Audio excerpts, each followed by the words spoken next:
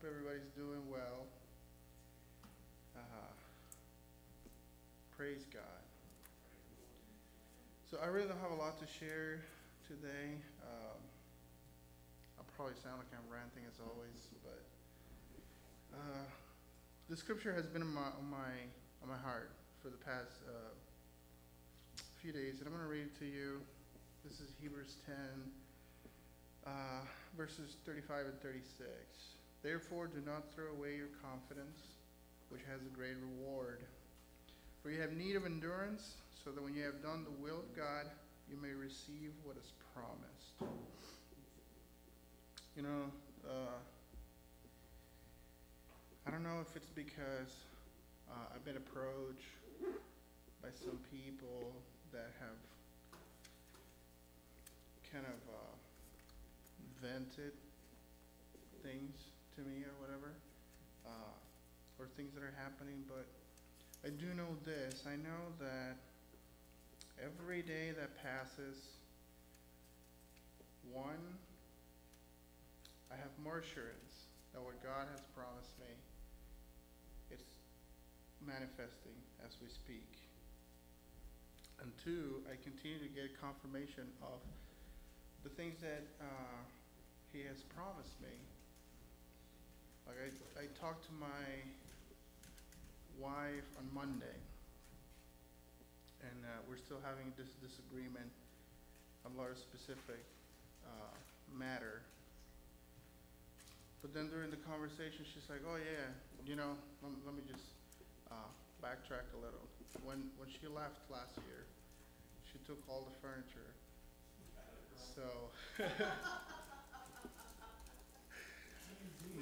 now I'm getting it back. So you know, the Lord has always shown me that He's going to provide for me and take care of me. But I think it's funny because now that I'm getting it back, someone already gave me a couch. so I got to figure out what I'm going to do with it. Uh, yeah. Because for many months I had a bed in my living room that I was using as my sofa. But yeah. Anyway. Yeah. No, but this is not actual bed. Yeah. Yeah. That's true. Yeah. Uh,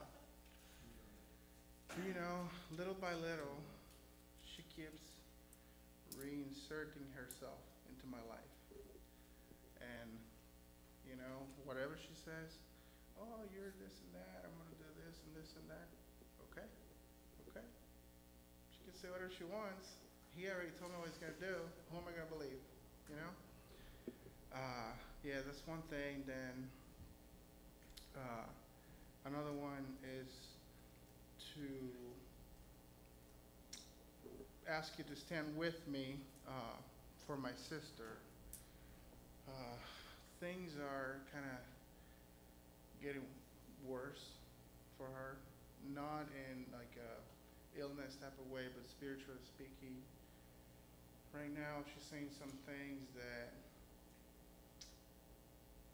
if she makes those things public, it's going to destroy my entire family. Uh, so I don't know what her problem is. To me, it seems that she refuses to let go of the past, and she's still holding holding on to grudges for things people did to her. Uh, which is actually one of the first things that I learned that the Holy Spirit revealed to me when I gave my life to the Lord is that the past is never going to get you anything other than wisdom, but it's not going to bring you anything because you can't change it. Uh, so I would appreciate if we, uh, you know, if, if you can stand with me in, in binding whatever it is that is uh, oppressing her, you know. Like I said, like, like, like we said on Sunday, this world is trying to hold the children of God captive. And, you know, in that video that I shared with you that Mike as well, uh, there's a law back in, in, in Puerto Rico that any church that wants, wishes to have a school needs to be licensed by the Puerto Rico Board of Education. Well, now the government is trying to uh, revoke that law so they can dictate what churches teach children that go to their schools.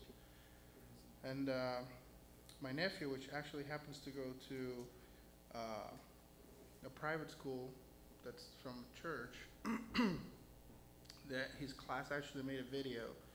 That that's the video that Suzanne was watching earlier today. And this girl, 15 years old, she's giving these. Uh, I'm not going to call it a speech. I'm going to call it a declaration because she was standing for what she believes, what the Lord has revealed to her. And I know everybody there stands for that. And, you know, even though we're not physically there, I say we join them in spirit and we declare that no one from this world is going to dictate how the children of God are going to, uh, I don't know, I guess, grow or, or learn. He's the one that's going to give us our knowledge or wisdom. Yes, we have to go to school because we have to learn certain things so we can perform things of the world, you know. But, you know, we are, like Jesus said in the Bible, you preached about this recently, you know, the wind's going to come, it's already blowing, and we are building the foundation of our lives with something that it's stronger than oak, and that's the Word of God. So our house is going to stand no matter what pressure comes against it. And I declare that the same thing is going to happen there. And everywhere that whoever at any particular moment says, Lord, this is your house, my life is yours, at that very moment, that foundation is going to start being built. Amen. Amen. So that's my little rant for the week until Sunday, I guess. I gotta make a note. I gotta prepare my next one. Yes.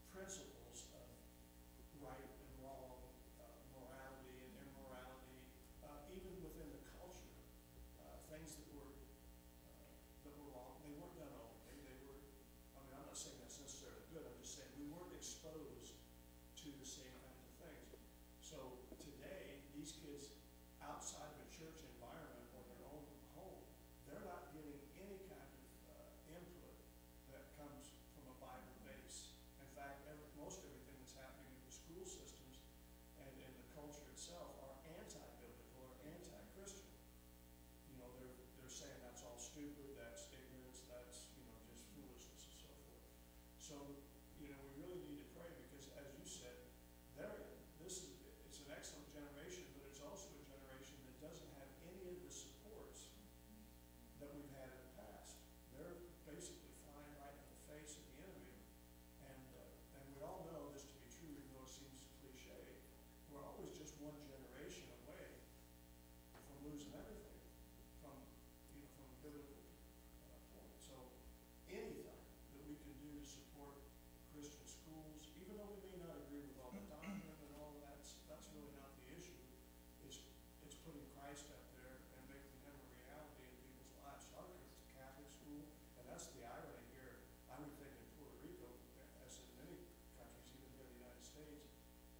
special.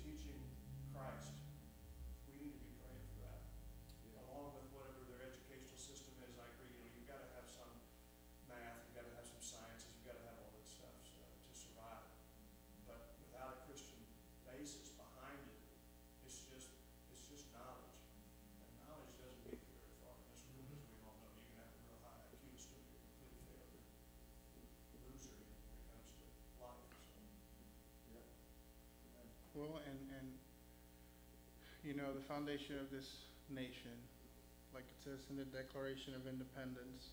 We hold these truths to be self-evident, that men are created equal, that they are endowed by their creator. You know, it talks about God. Then if you go to the Constitution of the Commonwealth of Puerto Rico, the very first sentence says, putting our trust in God Almighty. You know, the foundation of I don't know, almost every nation that I can think of. It's with what? In God. Yeah. U.S. currency, the one dollar. What does it say in the back? In God we trust.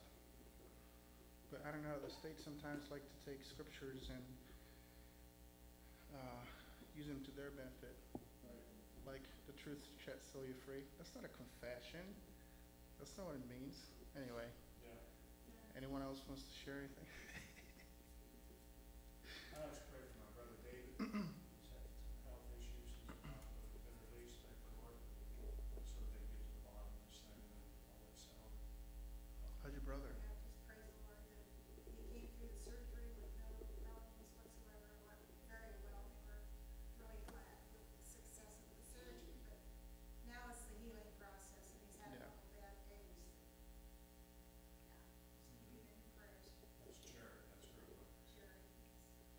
that, is he the one that lives in Minnesota?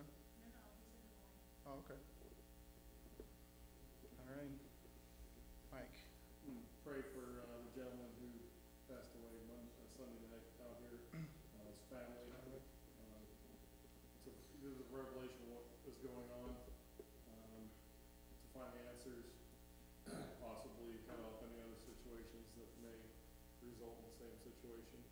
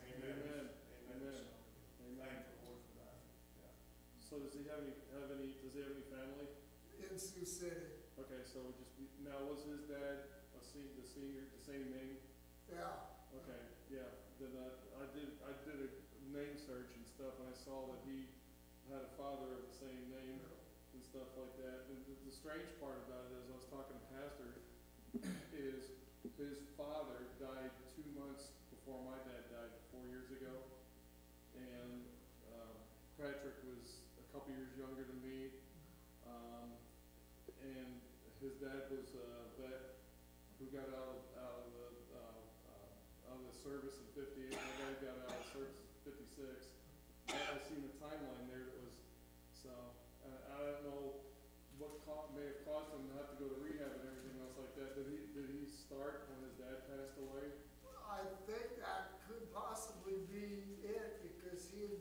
soul were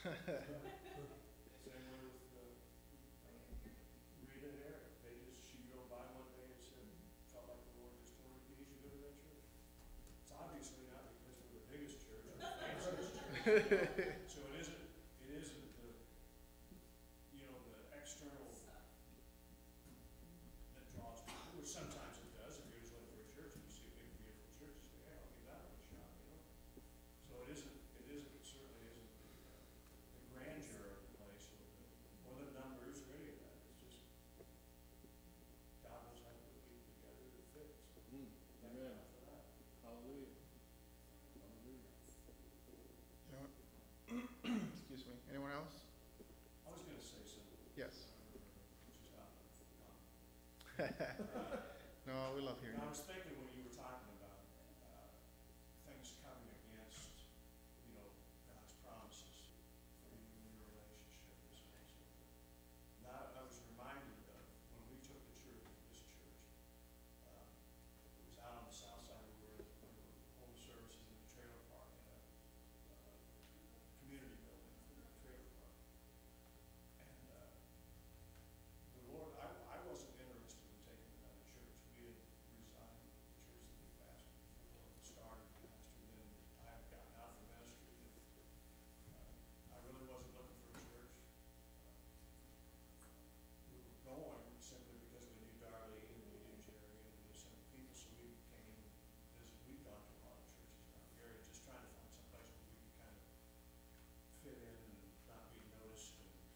you know,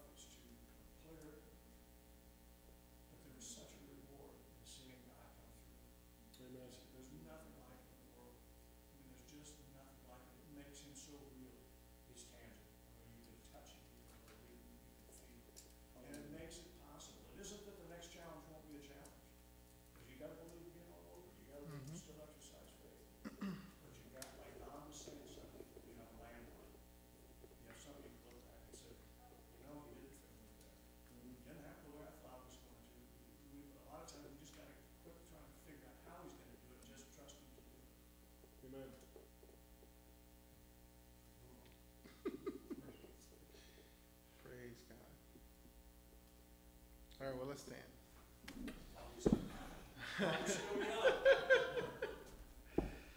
oh, Heavenly Father, we thank you for bringing us together in your presence, Lord. We thank you for your faithfulness. We thank you for the revelation that you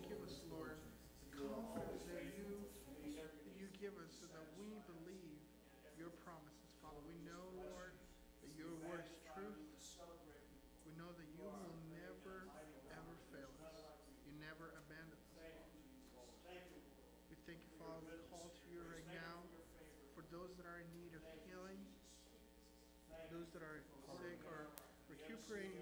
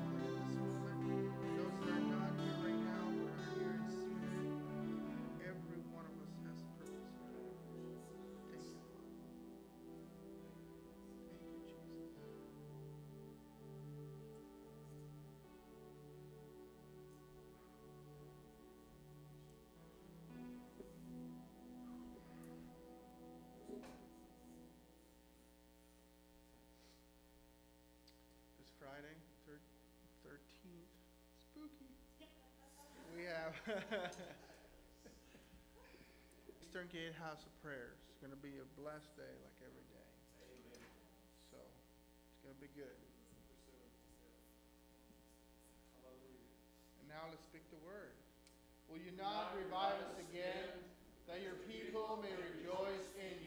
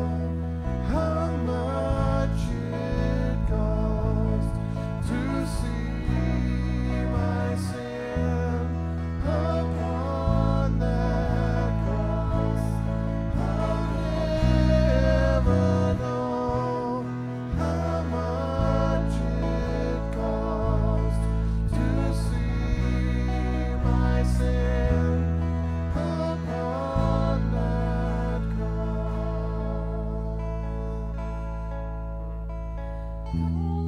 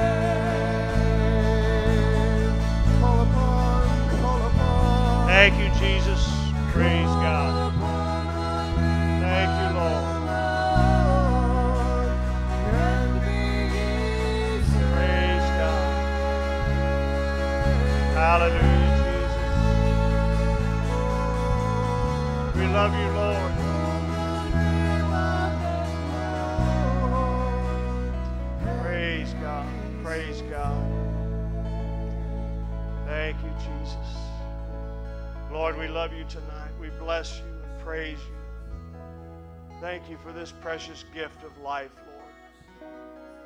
That by giving it to us, we might live to know you, to experience you. Hallelujah, Jesus. We just bless you tonight and praise you and thank you, Lord, for your goodness, for your favor, for your faithfulness. Thank you, Jesus. Thank you, Lord. Hallelujah, Jesus. Everybody say, Praise the Lord. Amen. God bless you. You may be seated. Hallelujah. Thank you, Mike and worship team. Hallelujah. I'll be brief tonight because I've already talked for 45 minutes. Yeah. It's only fair, I guess. So. Praise the Lord.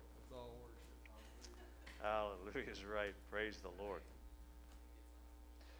I, you know, I uh, Sunday I want to talk a little bit more about uh, not really evangelism, but how how we can reach out to others, how we can. It's not about trying to enlarge this church, uh, increase the numbers. Although all of that's good, and it just that that just shows that we're reaching somebody, that we're touching somebody. But more importantly, we we are all evangelists every day, everywhere that we go, all that we do. And uh, I don't want to get ahead of myself, but it's just been on my mind. I, I, it's just that you know, we want to present Jesus to people who otherwise wouldn't know him. And we want to represent him sometimes to people who know him, but know him in a bogus way, in, a, in an unreal way. We want people to know how much God loves them. He loves them so much that he gave himself for them, whoever they are, wherever they are, whether they're, whether they're believers today or they're far from God. I mean, one of the most powerful uh, scriptures in my mind is that, that how while we were yet sinners, Christ died for us. I mean, that's a big deal. Not, not after the fact, and not after we came to know Him, not after we became uh, better people or, you know, whatever, uh, but just when we were totally alienated from Him, when we had nothing to do with Him, when we didn't care about Him, He died for us. And we need to see other people that same way. Uh, however however they are, whatever their condition, God loves them. He wants them saved. He wants their lives to be changed. He wants them to be blessed. He wants them to experience His life in this world. Praise the Lord. So, if sometimes it seems like I overdo uh, grace, it's only because most of us have lived under other things for a long time. And we really need to have that reality of this God and how good He is established in us so that we can project that to the people that we come into contact. It isn't always uh, what we're saying, it's just the way we're living, you know, just the way we live out our lives. You know, I'm not talking about being perfect, I'm talking about being at peace. You know, having a sense that things are going to be okay. God's going to take care of it. God's going to be all, be right there for me. You know, that sense of just you know keep my head up, and everything's going to be all right. Amen. People need that. Just you don't know how many people are dragging through life just, just not day by day, moment by moment, and uh, ready to give up. You know, ready to just throw it in and just say, you know, it's just not worth the struggle.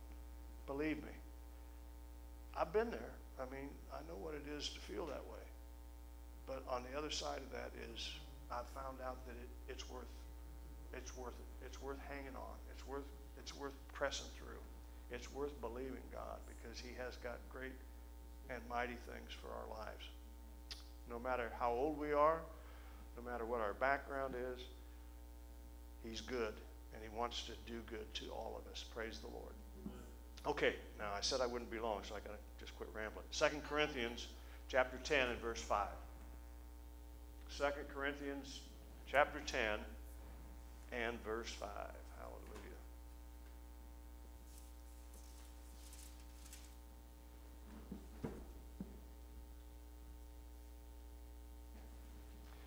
Casting down imaginations and every high thing that exalteth itself against the knowledge of God, and bringing into captivity every thought to the obedience of Christ. Now, just leave that up there for a moment. That is the opposite of religion. Right. Because religion says obedience will bring acceptance. Amen. But the scriptures teach us that acceptance brings obedience. It works just the opposite of what religion tries to tell us. Religion says if you behave, if you believe, then you can belong. Amen? Mm-hmm. If you act right, if you talk right, then you'll be accepted. Then you, then you can belong. Mm-hmm. I mean, we do that with churches all the time, and that's what religion does. That's the impression. That's that's the the kind of the attitude that, w- that is projected to non-believers as well as believers. But let's look at Ephesians chapter 2, verses 8 through 10. The scripture says if we belong, then believe, obedience will take care of itself in Jesus. Amen. In other words, we got to believe that we belong, that we are in the beloved. Amen. Then, if we belong, then we will believe. And the result is Jesus will take care of the rest. For by grace are you saved through faith, and that not of yourselves. It's the gift of God, not of works, lest any man should boast. For we are his workmanship, created in Christ Jesus unto good works, which God hath before ordained that we should walk in them. Now, if God ordains it, how many of you believe it's going to happen? Amen. If He said it, it's going to happen. Praise the Lord. So, first comes grace, then belief, and then God works. It's Jesus said, Look, the works that I do, it's not me, but it's the Father that's in me. He doeth the works. So you've got to believe. First, grace comes, which, which gives us access to God, even though we're all messed up. He just says, Come on, just as you are. I, I accept you. I love you. Amen. It's that way for the whole world. And the result of that grace then is belief. Then we believe that God's good, that God wants to do good in my life, that God wants to do good for me and through me, right?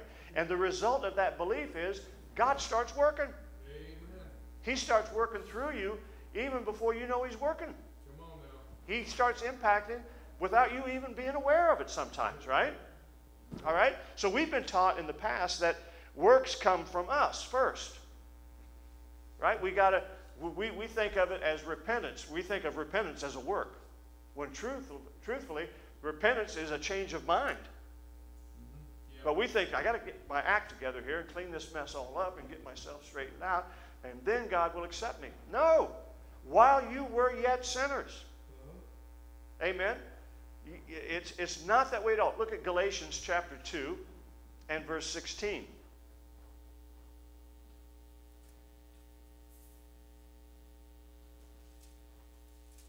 Knowing that a man is not justified by the works of the law, but by the faith of Jesus Christ.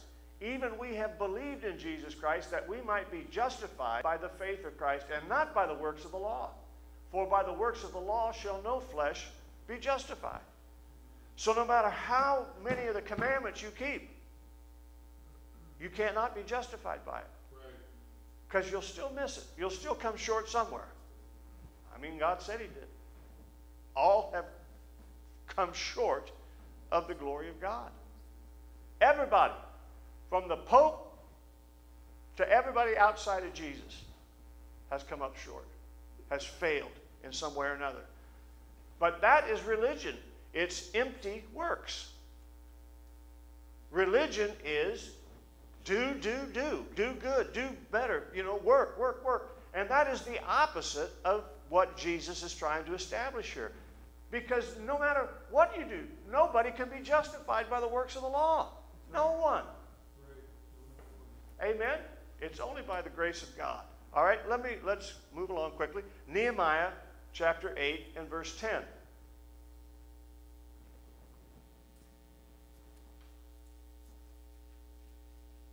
The Old Testament is nothing but grace uh, hidden. It's there, it's everywhere, it's all pointing to Jesus, but it's, it's, it's, it's hidden there. And in the New Testament, it's all exposed. But it's the same message, it's just the way that it's presented. So in verse 10 here of Nehemiah chapter 8, he says, Then he said unto them, Go your way, eat the fat, and drink the sweet, and send portions unto them for whom nothing is prepared. For this, I love this.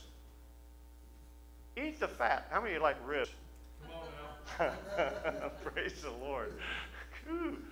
Yeah, I think the Lord likes barbecue, to be quite honest with you. Eat the fat, drink the sweet, and send portions unto them for whom nothing is prepared. For this day is holy unto our Lord. Neither be ye sorry, for the joy of the Lord is your strength. Praise God. Amen. It doesn't say do good works. It doesn't say exercise your spiritual, you know, behaviors. It says your, your strength will not be hard work, but it will, but your, the Lord, amen, hard work will, is not going to be your strength. Effort is not going to be your strength. Energy is not going to be your strength. Works are not going to be your strength. The joy that comes from your God, amen, the joy that comes from the Lord will be your strength. It comes from Him. It doesn't, have, it doesn't come from you. It doesn't come from anything you're doing. It comes from the Lord. Praise the Lord. Amen. It's the joy that comes from God. Look at Psalms chapter 51 and verse 12.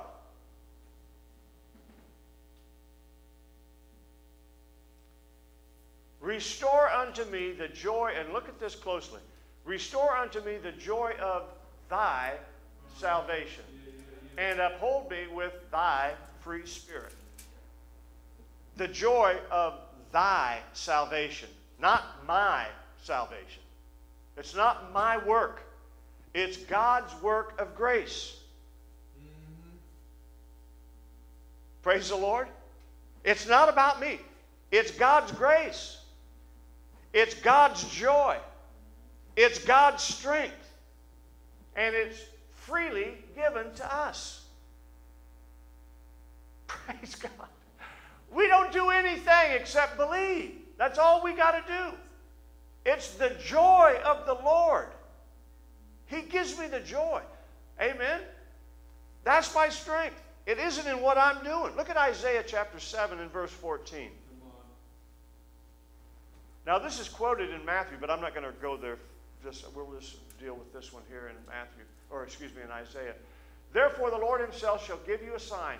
Behold, a virgin shall conceive and bear a son, and shall call his name Emmanuel. Emmanuel meaning God with us, right?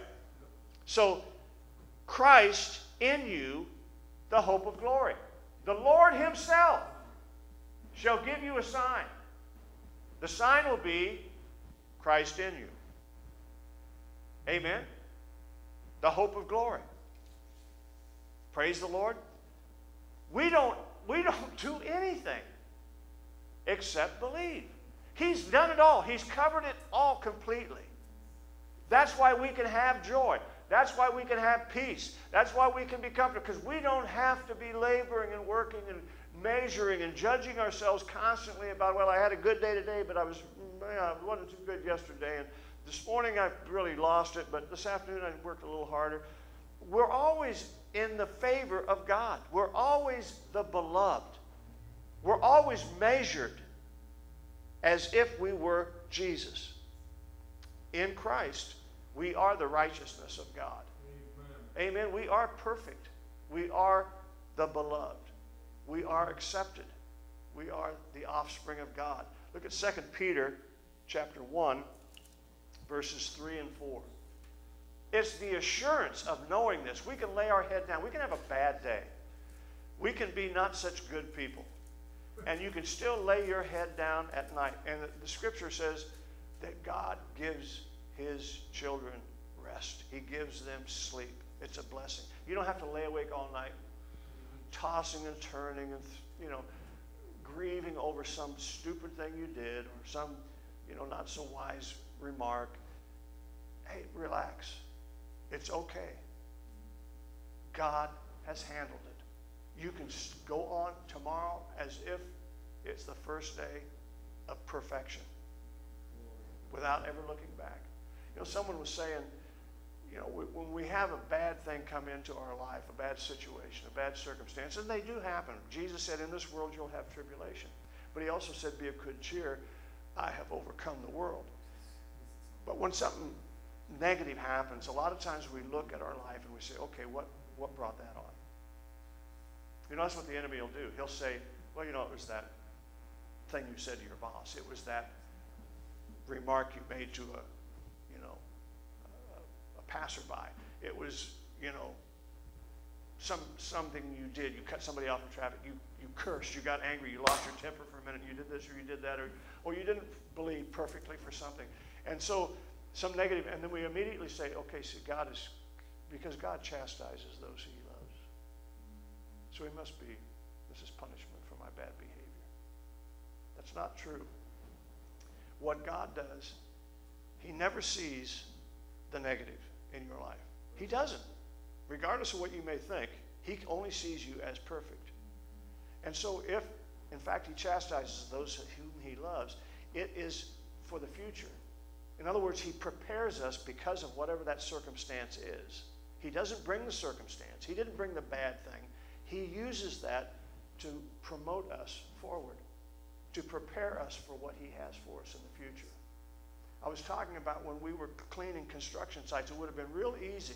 And don't think that the thought never came to my mind when we're throwing broken two-by-fours into dumpsters and you know cleaning up the glue off the kitchen cabinets and scraping floors and vacuuming and doing all that kind of stuff and hauling off lumber and all that, that I didn't say in my mind, uh, I thought you had my back here, Lord, and this exceeding great reward looks a lot like just an eight-hour job. it doesn't look much like a reward right now. It looks like payment for services rendered, you know? But it, God was using that to show me that He, hey, He didn't have to give me that. I mean, I could have been standing on a corner somewhere hoping to get a job somewhere. He provided a means by which I could have support and meet my obligations until something better came. It, it was a projection for it. It wasn't a punishment for something. It was a blessing. It was moving me on in the path that he had provided. I painted, I don't know, what, two houses, three houses that, that, during that time? One of them just up the street from where I live. A new house had been built just quarter of a mile, half a mile up this road from where I live. Painted the exterior of it. Painted. We did most of the in, interior painting and, and cleaning on it. And uh, hey, it, it, was money. I mean, it, it wasn't bad money. It wasn't my calling. Praise the Lord. But it wasn't a bad job. I got to work myself. I could talk to God all day long without people thinking I was a complete lunatic. I could not just kind of work at my own pace. It was, it, as far as work goes, it was a pretty good job. It wasn't a bad job. I've had a lot worse, believe me. But God used that to, to help me, to prepare me for what He wants. You know what? You, it's hard to be, if you just got the blessing, and I'm not saying God doesn't do this sometimes, would we really appreciate it, you know? You know what I'm saying? If you grow up and you always have everything handed to you, at some point you get to the place where you just believe somebody ought to be handing me something. It's about time for somebody to hand, give me a hand out here, or to, you know, just, you know, give me this or give me that. But when you, when you have to do things that you don't really want to do, then when better things come, you really appreciate it. You really see it for what it is. And you can also relate to the person who isn't there yet. Amen? And you understand it's nothing about them, it's about the process. I mean, it doesn't make them a bad person because they're not in the same place you're at. You were there in some way or another. Suzanne, I know you can relate to this. Jobs that didn't pay the greatest, didn't get the most respect. But hey, it's a process. God had a plan, right? And, and that's the way it is for all of us. He has a plan, a way of moving us from one place to another. And He uses the moment to propel us to the next level, to the next place He's trying to take us to. We have to learn to trust Him in the moment. Believe that He's good. Believe that He's going to keep His word, that He's going to do all that He said He would do. So, according as His divine power hath given unto us all things that pertain unto life and godliness, through the knowledge of Him that hath called us to glory and virtue, whereby are given unto us exceeding great and precious promises, that by these, by the promises, we might be partakers of the divine nature, having escaped the corruption that is in the world through lust. Now, how do we, how, what, the, the precious promises are given unto us, precious promises. The reason for the promises is so that we might become more like God. Not just to get the blessing, which is part of it, we're going to get the blessing, but how do we become more like God? God is a God of faith. He operates only by faith. He saw darkness, he spoke light. His faith is perfect faith. Whatever he says, it is. If it wasn't before, it is now. He cannot lie. Why? Because whatever comes out of his mouth is truth. Yep. If it wasn't the fact before, it is a fact the moment he says it, it's the truth. Mm-hmm. Amen? So he's telling us the way he the way he makes us more like him, the, more, the way he transforms us is by his promises. So he gives us a promise so what? We can believe. We can believe the promise so that I can be like God, so that I can operate like God. Jesus was operating like God in the flesh. How did he do it? He simply believed God. Whatever God said, he believed it. It happened. People got healed. People got delivered. People get saved. Amen? We've got to see ourselves the same way. It's God doing the work, yes. as we read earlier. But he does it through us. Christ in us, the hope of glory. Praise the Lord. Amen?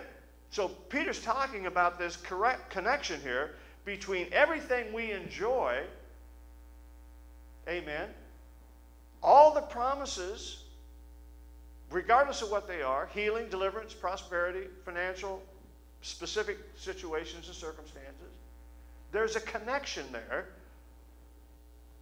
between being like God and just being outside of God. The godliness that we talk of in church often is about, you know, per- perfect morality. When in fact, the godliness that God is talking about is partakers of his divine nature. How do we become partakers of divine nature? It's not anything we're doing, it's something we're believing. Amen? He's already done it. Yes. We just believe it. Amen? Look at John chapter 10, verse 10.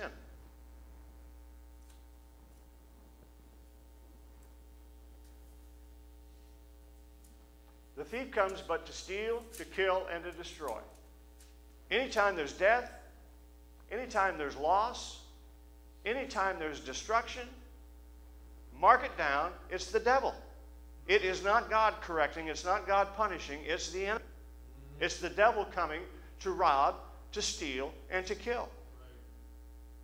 Amen. Now, God will use anything the devil meant for evil, God will still use it for good. This young man, I say young man because he's younger than me, praise the Lord, that just passed away tragically in our parking lot. The devil meant it for evil. He'll, he'll try to bring sorrow and sadness and depression and grief to other people. But I can promise you this Mr. Murphy is as happy as he would ever be, ever could be, ever dreamed of being. He's not grieving. What the enemy meant for evil, God turned it for good. Paul said, Amen, to die is gain. To live as Christ. It's hard for us to fathom that because we got to deal with a loss in this life. I've lost a brother, I've lost a sister, I've lost a father. I know what it's like.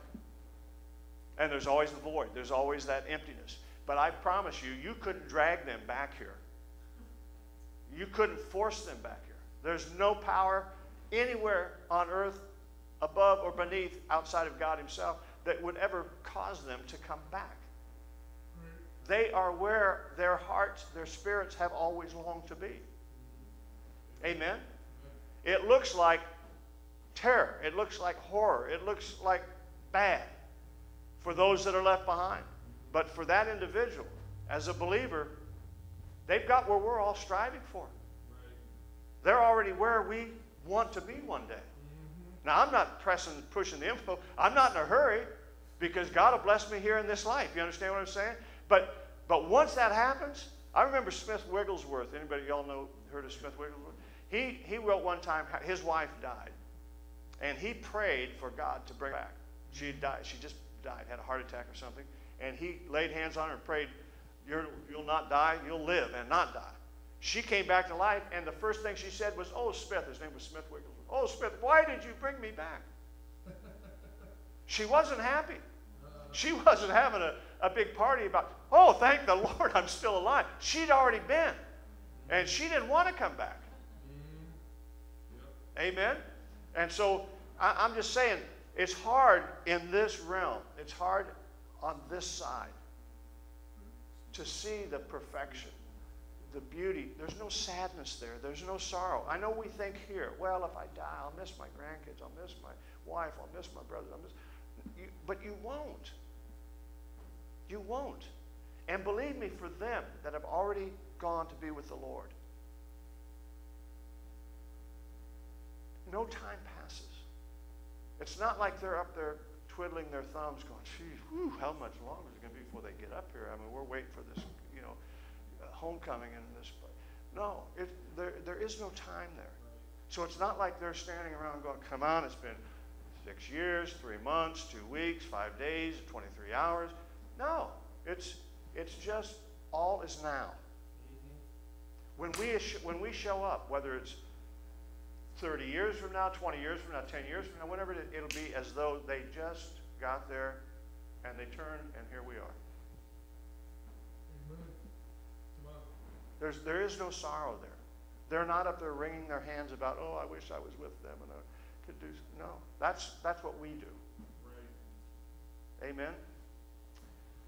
He came that we might have life and that we might have it more abundantly. Amen. Praise the Lord. Amen. All of our experiences are based in our being in Christ. They're not based on what we do. They're not based on what we don't do. They're based on being in Christ. If you're a believer, you are in Christ. If you're in Christ, you are the righteousness of God. Hallelujah. You are perfect. Amen. In God's eyes. You can do no wrong. You talk about spoiled brats. Amen. Hey, we've got a we've got a daddy who just spoils us rotten. If you think about it. Amen. He gives us everything without us doing anything for him. And he loves to do it. He loves to bless his children. Amen. And he just uses life to teach us. When something bad comes, he said, Now that, you see, this happens, but I'm not leaving you here. I'm going to use the negative to move you to the next blessing, to move you to the next level of your life. Amen. Amen? Amen. He, he's not saying, see what an idiot you were and you got yourself into this, get yourself out. That's not, that's not the way our Father works. He sees that as that's the enemy. That's what the devil does. I'm not letting, I'll never leave you or forsake you. Nobody can take you out of my hand. And I'll use that situation to slap the devil in the face and move you to the next blessing. Praise the Lord. 2 Corinthians chapter 10, 5 through 7.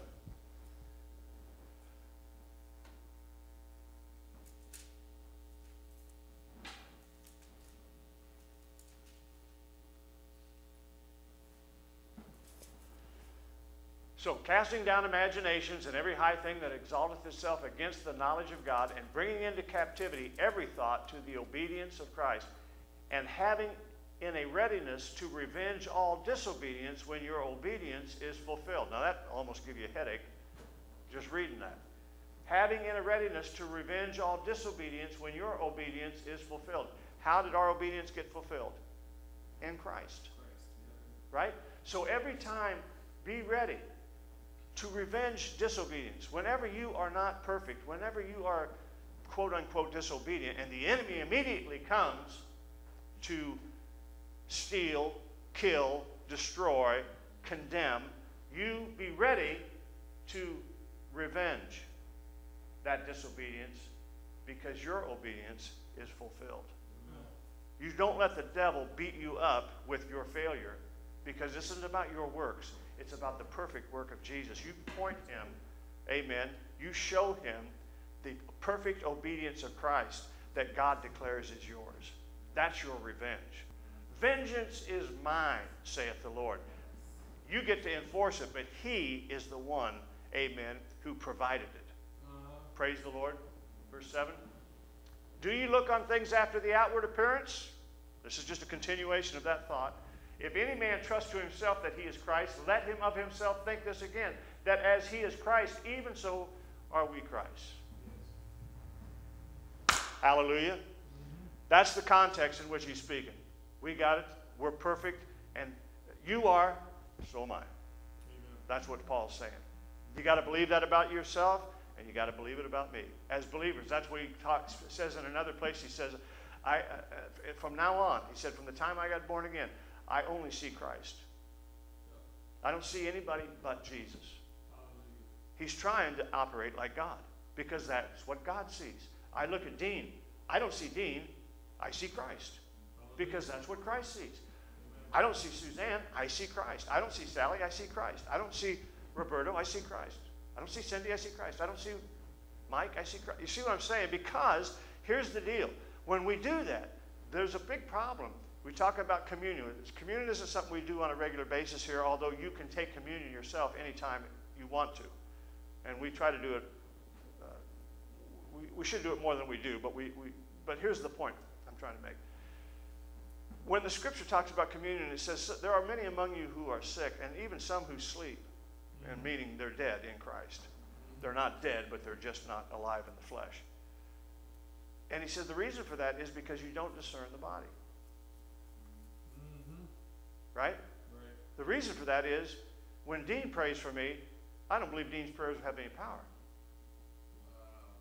Huh? Or, you know, we got to have so and so pray. We need Benny Hinn. You know, we need somebody else. No, that's not the, the answer is you are in Christ's stead.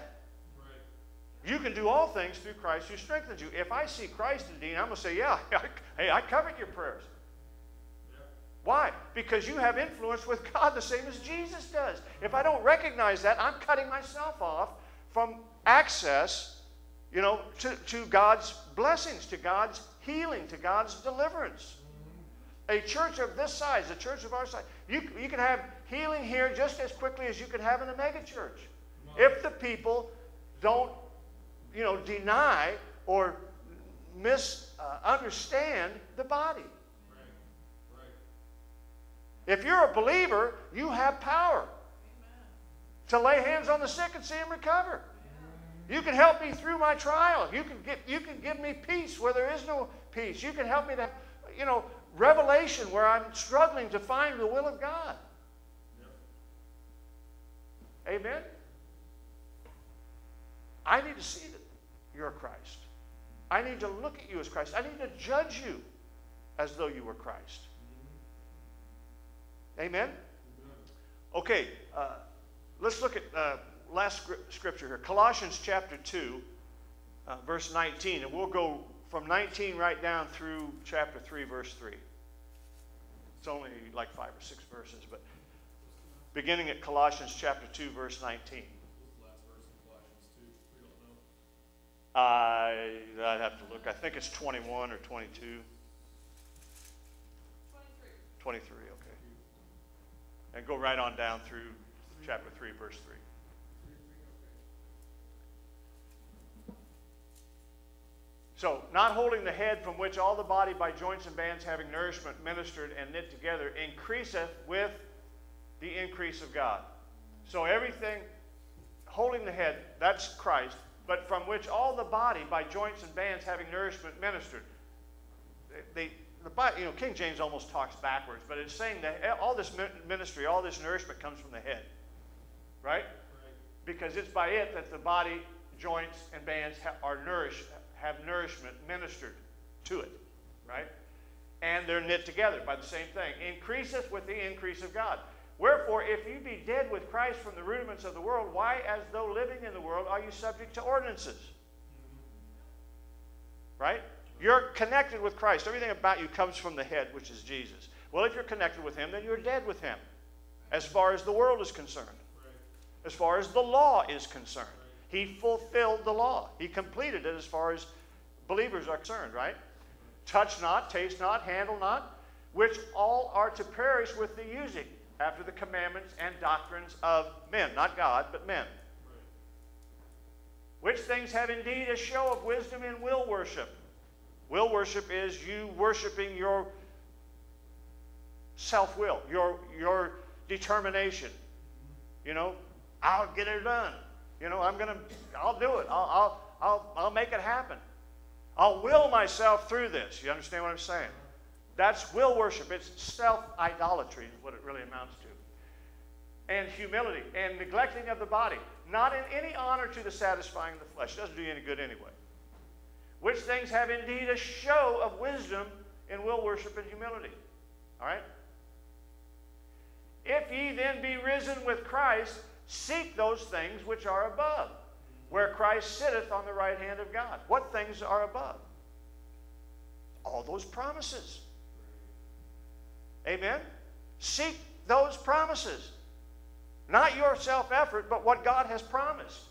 Where Christ sits on the right hand of God. Set your affection on things above, not on things on the earth. In other words, set your, set your sights on the spiritual, on the promises of God, and not on the works of the flesh. And the works of the flesh are not just the evil, it's the self effort. Amen? For you are dead, and your life is hid with Christ in God. So it just, in that verse, it sums up everything I've been saying here tonight. As far as God is concerned, this is dead. My real life, who I really am, the spirit man that I am, is hidden with Christ in God. I've already gone back to the Lord. I'm already with the Lord from where I came. We were buried with him, but the scripture says we were in Christ before the foundation of the world. Because there's no beginning or ending with God, God knew before the foundation of the world who would be saved, even though He didn't make them saved. He just knew who would. So, in the mind of God, we've always been in Christ and will always be in Christ. Yes. There was just one point in time where we had to accept, uh, uh, uh, uh, agree to that in the natural, in time, which is what we call being born again. Praise the Lord. But it's all about Him. He says we are perfect. Why? Because I'm dead and my life is hid in Christ in God. That's the good news. Praise the Lord. That's the gospel. And that's what this world needs to hear. It isn't about, well, you're so much further gone than I was. Or I didn't have all the same hang ups that you have. Well, I probably did, but I'm just using that as an example. But the reality is, you can look that person in the eye, no matter where they are, no matter how, how despicable, how, how messed up, how, how utterly, you know, uh, useless and hopeless their life might seem, and you can look them in the eye and you can say, with all honesty, not with some religious hype, but in all honesty, you can say, God loves you, and He'll save you right now without you making any change in your life except to say, I need you, Jesus. And that second, they can be saved. Amen. Amen. That's what the world needs to hear. They don't need to hear the 10 steps to Jesus through the catechism, through the you know, doctrinal teachings of this church or that church or some other church. They need to know that God gave his life for them right then, right now, right where you're at, in the middle of all this crap. God loves you. He loves you. Now, that's inconceivable for most people because they either don't know anything about God or what they do know about God is so distorted by the church that they believe they've got God won't have anything to do with me because I'm such a mess. My God, everybody's a mess as far as He's concerned. There are no, you know, we, we have gradations, we have levels of what we think are really bad and what's really, hey, it's either, you're either in or you're out. Doesn't matter how far out, you're just out. We, we think, well, because they're on crack or they're on this or they're that or they got a you know sexual deal going or there's some prostitute or there's look, he never made distinctions in that way. You either believe or you don't believe. If you don't believe, you're lost. And who cares why? You're just lost. Mm-hmm. And the moment a person accepts Christ, there's no he doesn't remember. It's gone. It's over. And it's our it's an obligation to us as the church to be like christ when it comes to that. You can't go well you know I, I mean i love you in the lord but come on i know where you've been. Look if all of us were really honest about our lives whoa we'd have plenty to talk about all night. You know and not to each other but when we get home, I never thought Suzanne, I mean, come on, and, and you know, gee whiz, and Sally, and really? I mean, she's the pastor's wife, and, and Nathan, my God, really? I, come on. I mean, I understand the drugs, the alcohol, but. Ah. Well, I'll give you something to think about tonight. but I'm just saying, in the eyes of God, that's how ridiculous this is. And we need to be as honest with people as God has been with us. Amen. They need a life-changing experience. Yeah. And the only way that it won't come through religion. It won't come through some program. Programs are good. Religions are good in their place. But people need God. They need the truth of God. They need the love of God. They need the power of God to transform them. And we're the only ones that can give it to them because we're the body. We're what He has left here. We just got to be honest. Share the love. Be happy. Hallelujah. Give the Lord a hand clap. Thank you. Praise the Lord. Everybody we look at, anybody we look at, you look at them and you look at them with hope. You look at them with an expectation that, you know what? I can't wait to see what God's going to do in their life. Can't wait to see how God is glorified